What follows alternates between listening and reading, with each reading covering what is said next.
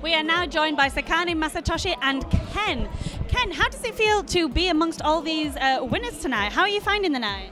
Uh, this is a great opportunity for us because you know, for us, for being here for 30 years, this is the first time for to get those awards.